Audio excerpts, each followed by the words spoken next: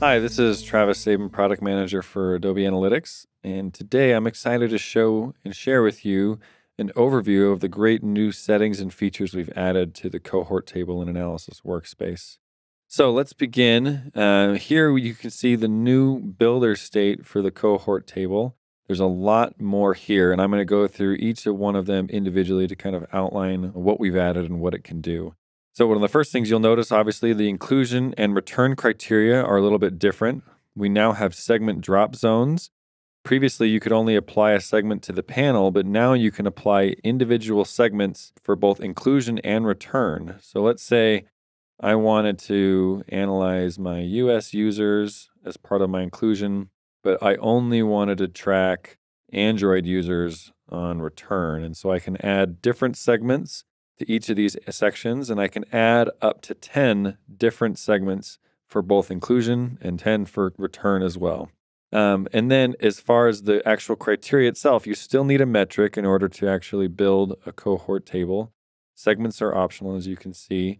Previously, you can only add one metric, but now you can add up to three. And so, if I drag three different segments over here, these may not all work together, but just for the sake of the demo, I can add up to three different segments.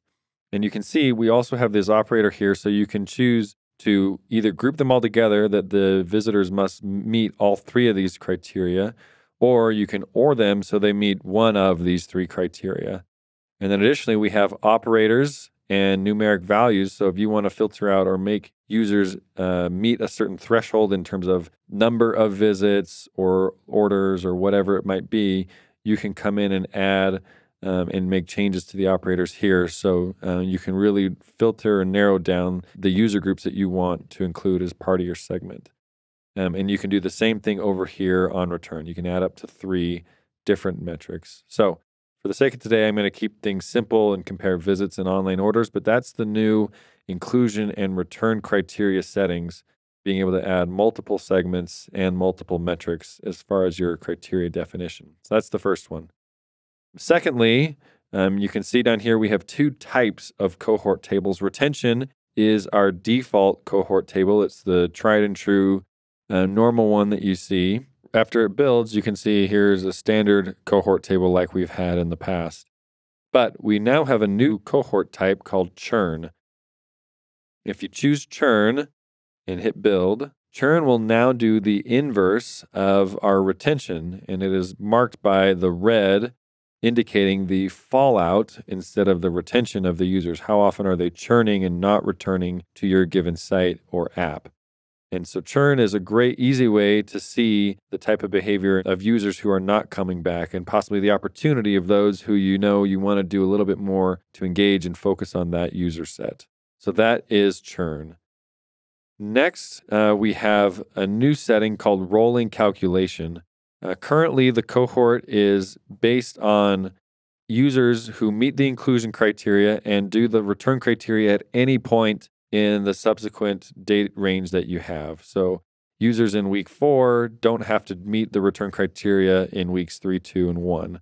But if I change this to rolling calculation, now you can see I have a completely different type of cohort table. Users must meet the criteria in the previous period. So these two here in week two are of this 2,400 in week one, which are a subset of the inclusion group here of the 31,000. And that's the same across the board. So, in order for being included in week two, you have to have met that criteria in week one and so on. And as you can see in this data set, none of my users are persisting down through weeks three and four and five, doing continual repeat week after week behavior. And so rolling calculation is really good for period over period uh, retention and analysis to know how your users are coming back on a repeat basis performing. So that's the third setting. The next one um, is here in the advanced. We have two new features. The first is a latency table. Latency tables provide a good view of pre post analysis. So, with a latency table, you can see that the cohort is a little bit different. Our inclusion is now shifted out to the middle, and everything to the right of it is a standard cohort showing you repeat and return users after the inclusion event. But I can also now, with latency table, see pre inclusion activity on the same table really quickly and easily. So, this is great for analyzing specific events like product launches or campaigns to see what was the behavior like before the event and then the change in behavior after. And so, latency tables, again, are really good for pre post analysis and a great feature here in our new cohort table builder. So, that's our fourth new feature that we've added. And then finally, the last one is the custom dimension cohort. And in many cases, we've had users request and say, hey, I want to do something not time based here on the left. I want to compare something else, a different dimension.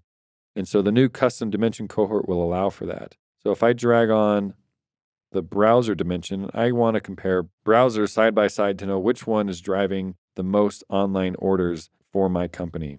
So once that builds, uh, I can now see instead of time here on the left, I have a list of my top 14 dimension items that have returned for that specific dimension, in this case, the different browsers.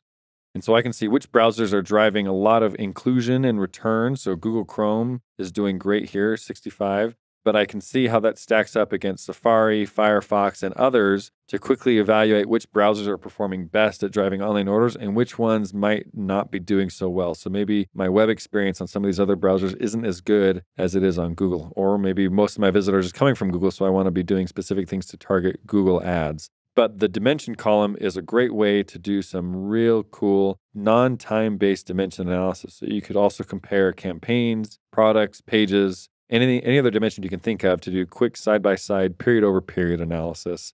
Um, you can also use the filter option here on the specific dimension to, if you want to analyze three or four specific dimensions and not the entire list, you can add those here. Or if you have one that's not in your top 14, you can find that as well. That's our fifth new feature. So, those are all the new features that we have for the new cohort table. I hope that these are great things to help you in uncovering new insights for your business. And thank you for your time.